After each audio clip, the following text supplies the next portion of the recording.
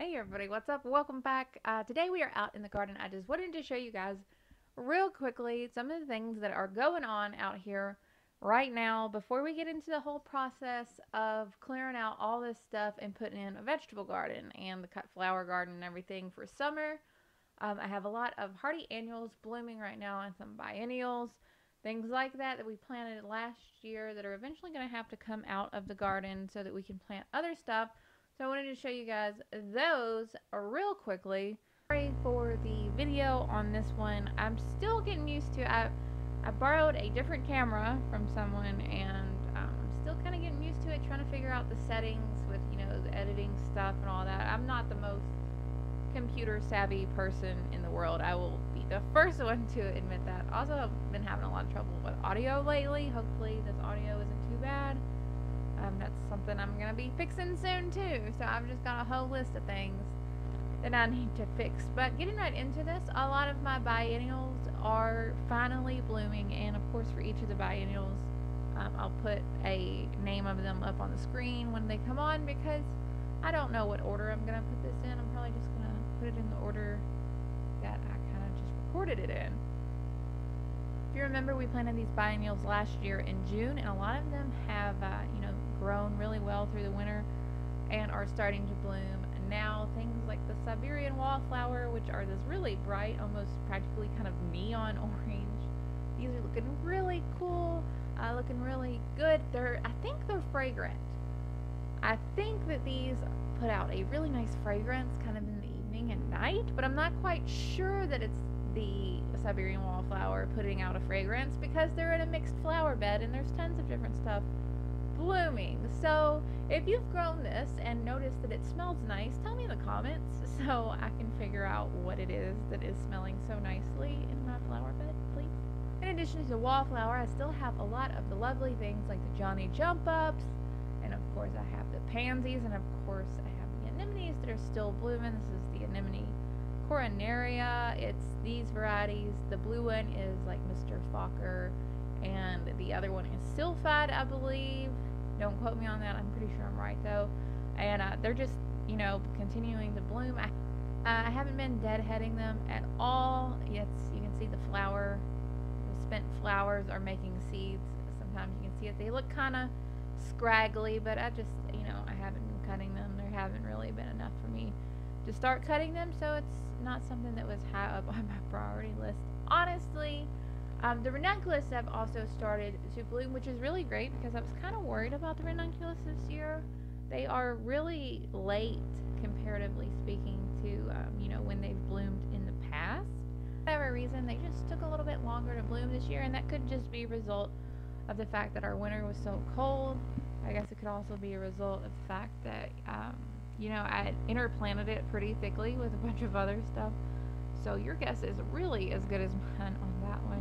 Uh, other stuff that is in the garden, I have a lot of uh, the hardy annuals. I have some forget-me-nots coming into bloom as well as some of the German chamomile. All this stuff is going to get taken out, which is, you know, regrettable, but um, just the the water in the backyard earlier in the season just really did a lot of this stuff in, so I don't think it's worth, you know, waiting for just like a couple plants to bloom. So I'm probably going to go ahead and take some of these out, so it is what it is.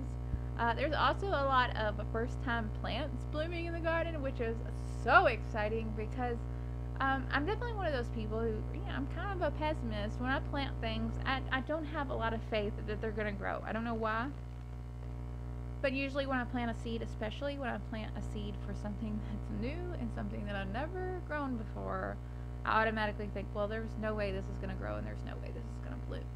Uh, this is especially true with some of the newer biennials that I grew this year, or short-lived perennials, um, whichever, whichever you want to call them. I planted a lot of things that were completely new to me. Among those were things like columbine, uh, cathedral bells. Nope, I get them confused every time. Canterbury bells, um, bells of Ireland, technically not a biennial, I think technically a hardy annual. Um, verbascum, don't know if that's how you say it. Anyway, I, I am so pleasantly surprised to see that the verbascum is growing so well. These things look so cute. They are so just adorable. I love the colors. I love the flower spikes. Um, they are a little bit short, I think, um, personally. But I asked somebody on Instagram, I can't remember who it was, and they kind of alluded to the fact that the verbascum behaved like a short-lived perennial, and it came back a second year. So I'm going to transplant these. When I fill up this bed, I'm going to transplant these verbascum somewhere else. And maybe, who knows, uh, maybe next year these will be really tall. So definitely not disappointed in it. I mean, especially since I planted it and I got a flower. How could I be disappointed, right? Uh, as far as things like the Canterbury bells, I have no clue. I have no clue if any of those overwintered. I haven't seen any signs of those yet. Your guess is as good as mine. However, I have seen some amazing progress with the columbine our first columbine flower is going to open very soon, and I am so excited. I've never grown columbine before. This is the first time.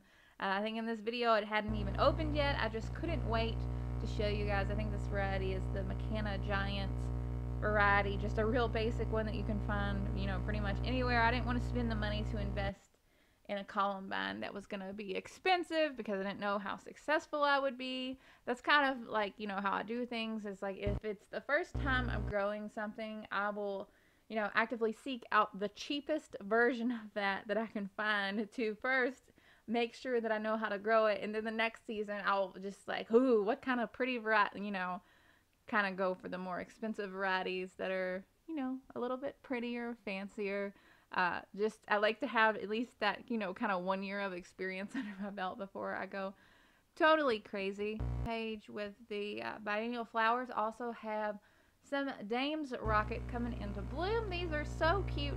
I think these can be invasive in some places, so always uh, check check it out. Check out where you live, all that good stuff. But uh, these are super tall. Um, I planted these again in June from seed. Super easy to grow from seed. Uh, super easy to transplant. Uh, really nice, just lovely purple color. I feel like this is probably going to go with a lot of different things. I'm really loving these purples and blues and pinks in this little patch. And the orange Siberian wallflowers in the middle of the patch kind of, you know, they kind of stick out a little bit. Um, but these purples and pinks, I think these will look really, really nice in a flower bed together. As I mentioned, if you follow me on Instagram, you've probably already seen that I've started the process of planting out the vegetable garden. So these videos are a little kind of like, you know, behind, but I, am trying to keep them up to date as much as possible. I think I might do a whole week of videos here, uh, depending on how much time I have, so we'll see how that goes. Anyhow, a lot of seeds that we planted in cardboard boxes are germinating. Uh, cardboard boxes aren't the best way to start seeds. They get soggy really quick and they start to fall apart. However, you can do it if you're desperate and you're on a budget, and I was. So I did, and it worked. It worked out fine. I just scoop out the seeds out of it. Um, I don't recommend it per se, but I'm not against it either. Also, I managed to plant my corn the other day. You guys will probably see this in a video. Also, I tried to make a video of me crawling around on the ground planting the garden out, but I just, I just, I don't know.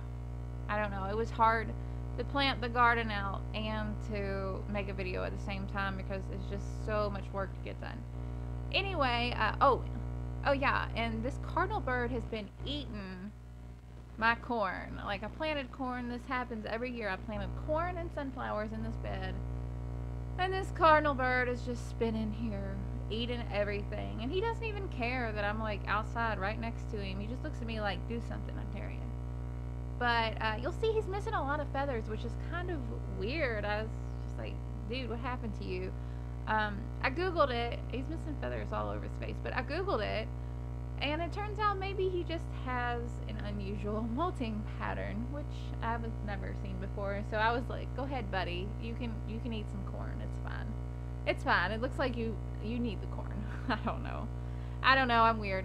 Anyway, that's about it for this video. Hopefully it was somehow helpful. I'm not quite sure if it was. If it was, be sure to subscribe. I would absolutely love to have you. Uh, making new videos on the regular, or at least trying to, trying to keep up with everything in the garden. Also, be sure to click on that little bell thing right there. If you do choose to subscribe, it'll tell you when I upload a new video because sometimes YouTube doesn't even bother to tell people I uploaded a new video. So um, it's whatever.